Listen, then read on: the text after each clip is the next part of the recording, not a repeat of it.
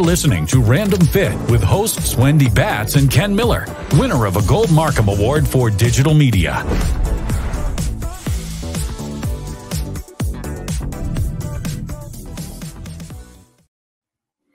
Hello and welcome, welcome, welcome to this episode of Random Fit, where I myself, Ken Miller, and my partner in crime, Wendy Batts. Wendy, how you doing? I'm good. How are you, Ken? I'm good. I'm good. And uh, this episode, we are going to talk about wellness coaching, but wellness coaching from the standpoint of wellness coaching versus personal training, and not versus like they're going head to head against each other, but just to talk about coaching and personal training. Because when we talk about personal training, Wendy, what is it that you what what comes to mind when you talk about personal training? Well, I think the important part of that is actually the personal part of that. Um, but being able to, you know, learn a lot about someone, how they move, how they feel, what their goals are, and then I try to find a solution on how I can help them throughout their their journey. But you know, it is more, and when you're thinking of personal training, it is more with working with weights and working in a, with equipment and trying to get them stronger to live a healthier life. So there is that component of it, but I think when we do talk about the differences, they really complement each other because yeah. I think wellness coaching does a lot with personal training and personal training does a lot with wellness coaching. And so I think kind of really defining the differences yeah. uh, is important. And it's huge because when you talk, I mean, I'm sure when you tell people what you do or even where you go to work physically, like when I say I have a training studio, the first thing that people ask is, what kind of training do you do? Right? Yeah. Is it, yeah. Well, because then you think, well, I have a performance or a personal training studio. Think, oh, so you work with people trying to lose weight, right? So we oftentimes, as personal trainers, we get categorized into that one little genre of, okay, you're there to make people look different than how they look now, whether it's to put on muscle or lose a little bit of fat or the combination of both, which is usually what we're trying to get them to do. But when it comes to personal training, like you're saying, Wendy, we have to get to know them. We have to figure out where they've been, where they want to go, where are they today, so that we can construct or co-create. I like to say uh, a, a physical movement plan, whether it's on a rower or a Skillmill or dumbbells or barbells or body weight training. So when it comes to personal training, that's where we get pigeonholed into. But when we talk about wellness coaching, especially now, Wendy, you know, post shutdown, post pandemic, that now these health issues are coming to light when we were talking about people's um, body composition. How well can we endure sickness and how well are we as a society? So when we discuss the idea of wellness coaching, you know, a lot of that is within the realm of what we do as personal trainers if we're really trying to get to know people, like you said, Wendy. But wellness coaching does have a different connotation when you look at it as a as a career path, wouldn't you say? Oh, absolutely. And I think I think it's important exactly what you said. We get pigeonholed and I know often people say, well, what do you do? And again, I do have a lot of jobs. So I'm like, well, in, in, which, you know, which area are we talking about today? But when I tell people that I'm a personal trainer, I'm very proud of that because I have seen people reach goals that they never thought were possible. But people are like, oh, you're just a personal trainer. You just lift, you know, you teach someone how to lift weights. And it's so much more. And so, you know, for the fitness enthusiasts that are out there, just realize there's a lot of education, there's a lot of planning, and there's a lot of things that we can do to really help someone achieve multiple goals that, you know, and being able to provide some nutrition guidance. Again, we're not RD, so we're not writing programs, but helping someone with that. Looking at someone's assessment, how are they coming in versus, you know, how should they be in comparison to like ideal movement and form and how do they walk?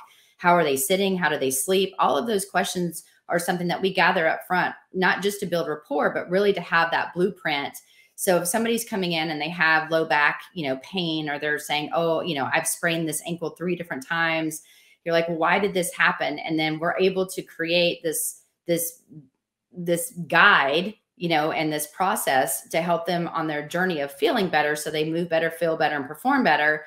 And I think it's important too, because when you think about wellness coaching, and I do say they complement each other, you know, we through NASM, we do have, you know, a specialization that teaches wellness coaching and that, that helps them. And the differences between the two, when you're really defining that, wellness coaches are able to help someone with their fitness journey, with their wellness journey. And so when we define wellness, what does that mean? If you look at all these definitions, they're really not ever the same. But I think it's important to say that if you're looking at someone's complete mental health, their physical health, their social health, what they're doing daily, and then finding out too where are the parts that they feel like they can grow and get better? Where do they feel? Meaning you're you're speaking with someone and learning a lot about th- that one individual. You're able to guide them on this journey and you know wellness is a journey. That's important. It's not a destination. There's no end point.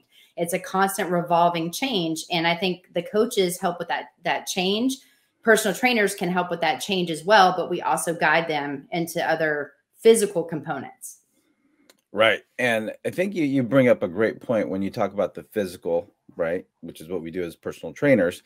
But from the wellness side, there is the physical because it is a means to manage what you you brought up with stress, right? So we have to take that 360 degree view of okay, what's going on with somebody's life. So when we talk about wellness, it's so much more than just, all right, you know, you had a bad day. Why don't you go walk it off? Go out there, get some fresh air and and move a little bit or why don't you go pick up something heavy and let that stress out? Well when we're looking at wellness we have to look at okay let's look at let's look at stress.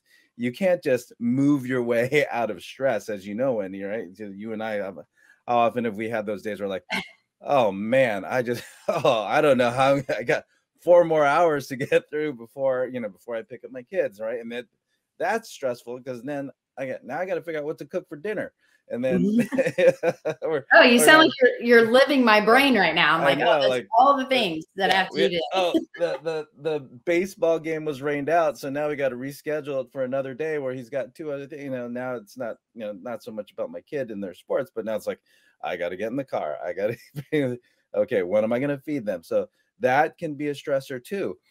So when we have to look at when we look at wellness yeah stress you know you know when do you come down off of that high of okay we're in it we're in the mix we're we're going at it and we're running here and there and you next thing you know it's 10 o'clock at night but looking at okay well where are those micro moments within the day where we can okay take five deep breaths nice four second in hold for four seconds four second out so we're talking about a little sense of box breathing right four second in, hold for four, exhale for four, hold that for four, and then repeat that four, four, four, four tempo just to kind of be in the moment, settle yourself down, and then and then you can go on to the next thing. But it's when we're the the heart rate is high, the stress is high, and the next thing you know, it's 10 o'clock at night, and then you come down versus you're up, then you can kind of bring yourself down, you're up, bring yourself down. I'm just talking about just a just a, an example of okay, well, how are we managing stress? We can't just exercise stress away, right? Because now you're imposing mental stress on top of physical stress and then back to the mental stress again.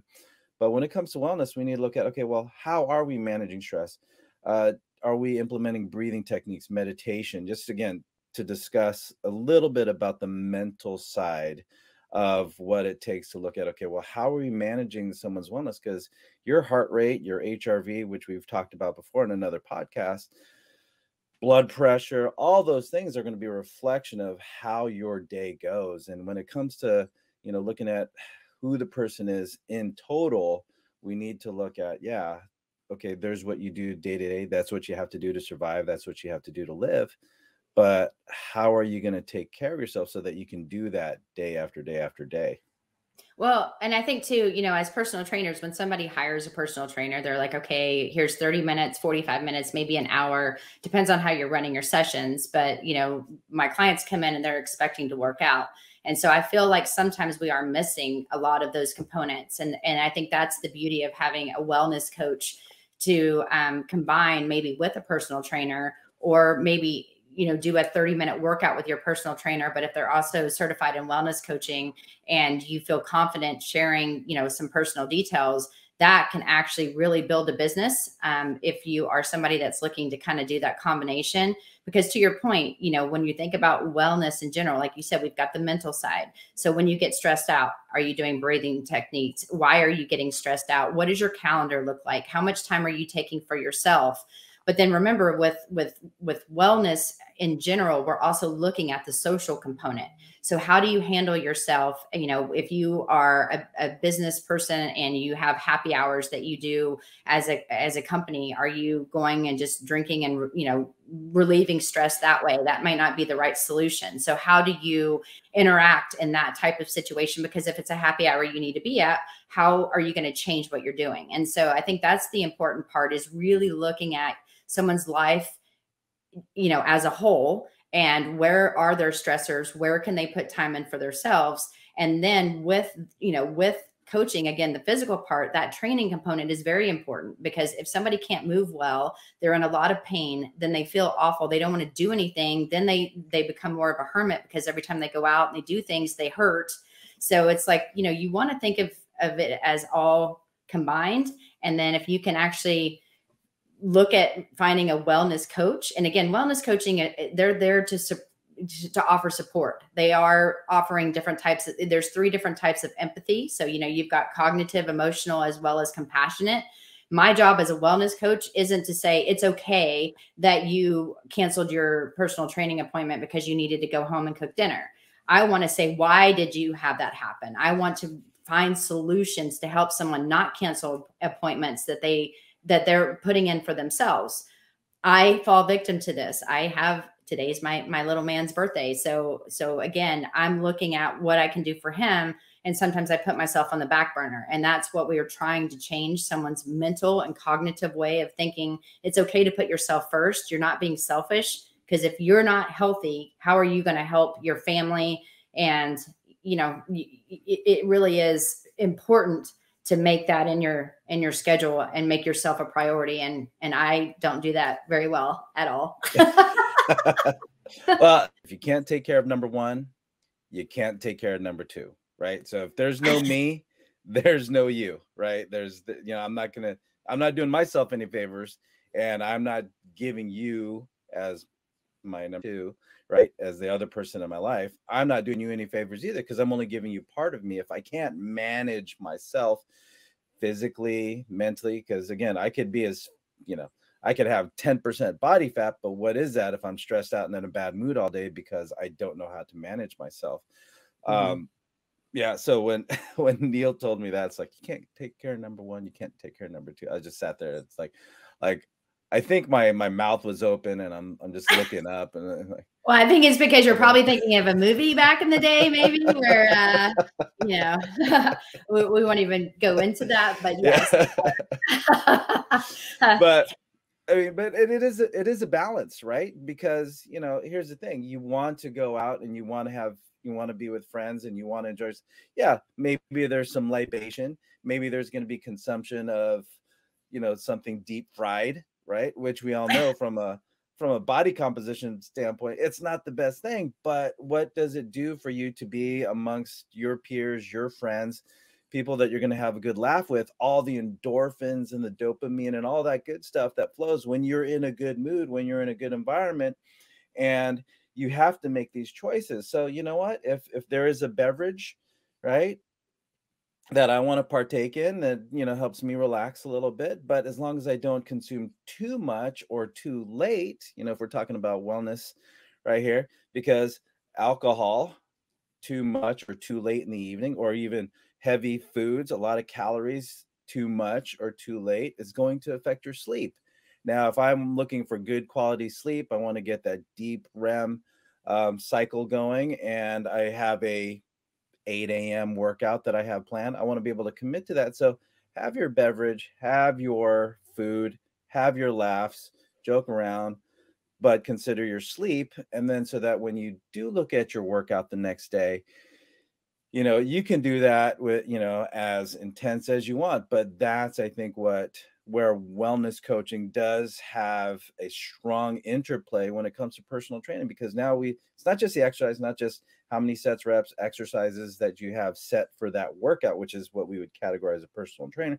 But it's looking at okay let's look at the psycho social aspect of it. Balance out what we have to do for ourselves to feel good you know be out and about and, and do what it takes to to get you know to to hit as many different points that make you feel good or actually get you to normal as a human being.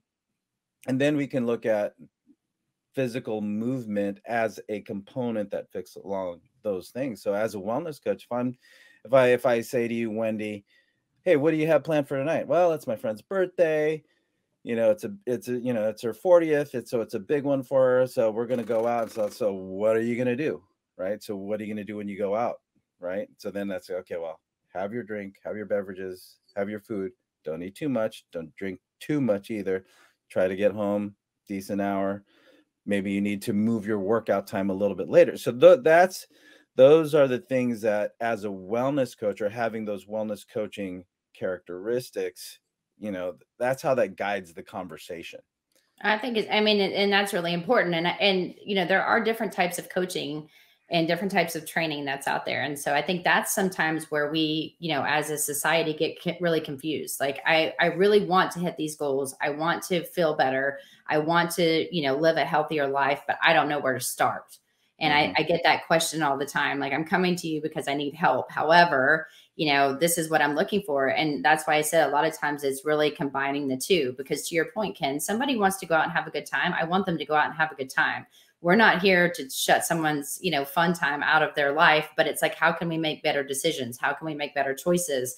You know, if they have a buffet table, don't stand by the buffet table. Go sit at, you know, at a table in the back if you you know need to grab a plate of food grab something you know that's very colorful i mean little things like that have soup beforehand because soup will fill you up and then you can have the main course have a salad you know drink water in between drinks all of those things are what you're going to hear more for wellness coaching and then you know again with personal trainers we're looking at your body comp your you know where you're starting where you're finishing we're doing reassessments on movement patterning but there's also another type of coaching out there. It's called health coaching, and health coaching is different from wellness coaching. And so, just as a just to define it, is you know you're looking at at someone that can maybe work with a physician, and this physician gave them a script, and so they're looking at a medically diagnosed issue that someone needs help with, and they usually have different types of training. So more clinical type training. And I think that's really important too, because if this, if you fall within that category, maybe look at, at finding a health coach.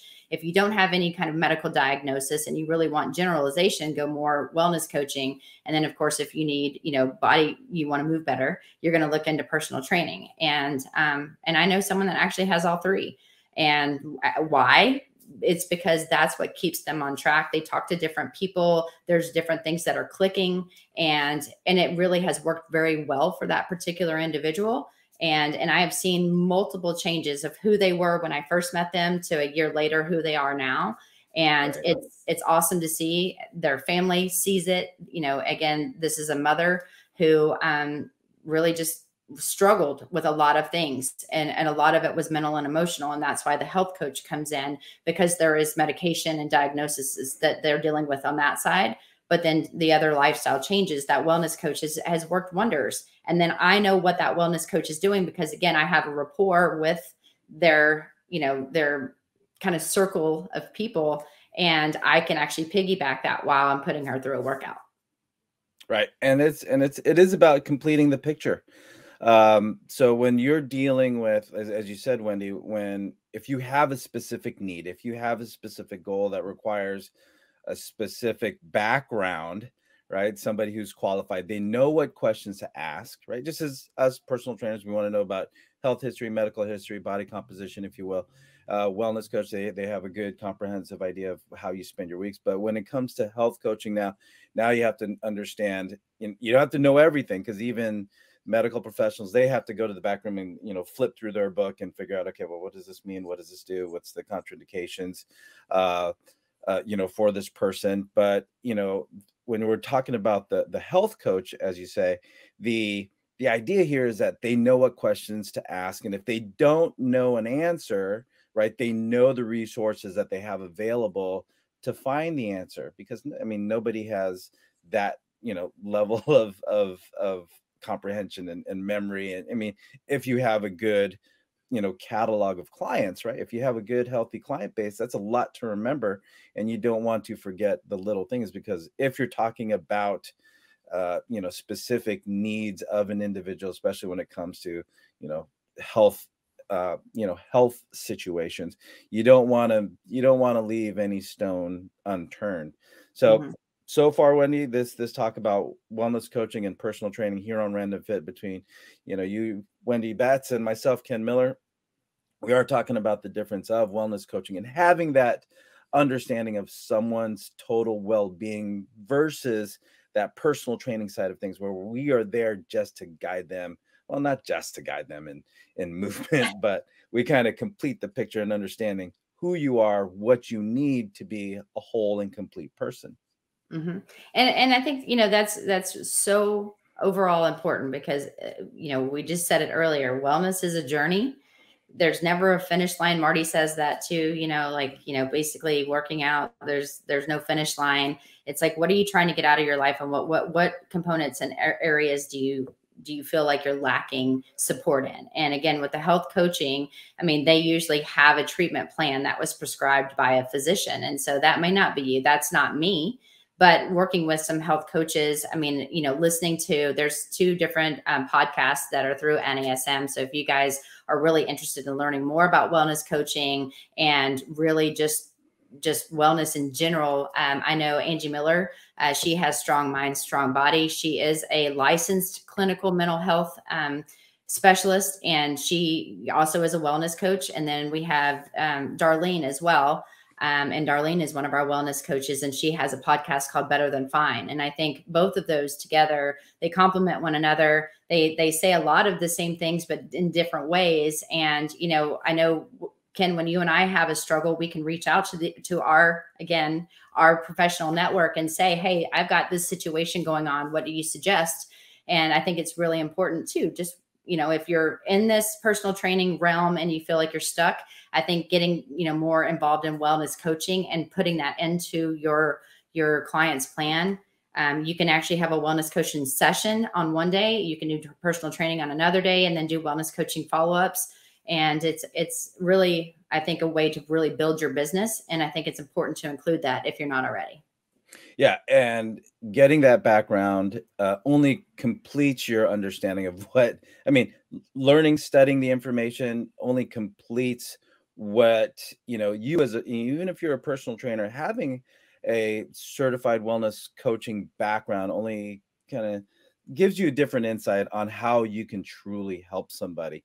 And you know, like you said, uh, both Angie and Darlene, great resources if you're looking at something else to add on to your podcast library again this this wasn't intended to be a plug for other platforms within the national academy of sports medicine podcast network but when you and i wendy when we need information on this side of helping people that's a resource we go to. I know i've reached out to you know andrew and i will we'll talk every now and then but she's she gives me some really good insight that is a reflection. It's like i'll listen to her podcast like oh yeah that's what that's what angie told me the other day.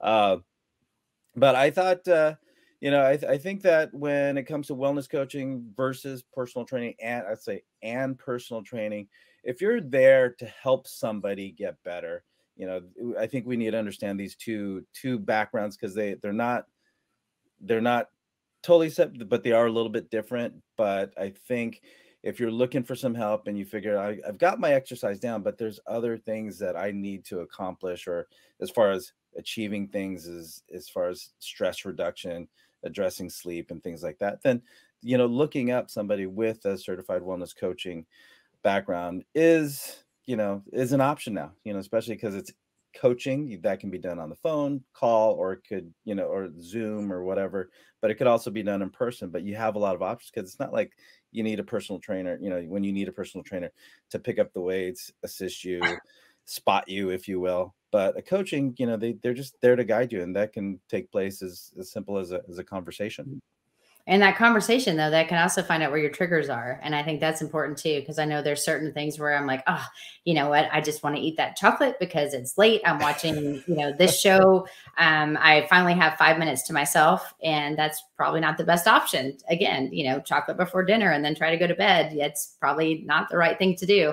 Um, and so so again it's just recognizing that these individuals are really there to talk you through it to help you help you learn more about yourself, help you find better solutions and, and habits that may not be optimal and that may be keeping you from reaching, um, you know, your goals, whether it's on the scale in the gym, how your pants fit, or just mentally being able to survive the day.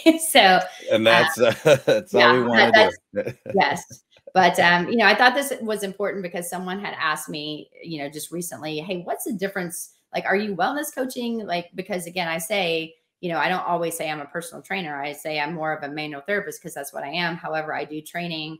I also guide people through their journey. And they're like, well, what does that mean? You know, are you a wellness coach? And I was like, well, this is what a wellness coach is. This is what a personal trainer is. And they're like, oh, I never really knew there was a difference, but now that makes sense. And so I think sometimes if one person has the question, there's probably many people. Yes. Um, well, Wendy, uh, for this episode, I I definitely learned a lot from you, and it's good to know that we share the same situations. You know, running around, picking up, dropping off, this game, that game, and it's like, take a breath, four seconds in, hold, four seconds out, hold, and yeah. So I know we're not alone. So just for you guys, you're not alone. Yeah, you're not, not alone. You're not alone. So if you're listening to us here on Random Fit, just know for one, you're not alone. But also know that we appreciate you for listening. If there's anything more that you want to see, listen to us talk about, like, follow, subscribe, download, share, but more importantly, comment, let us know. And you know, we can't give you what you want if we don't know what you want. So until next time, take care and be well.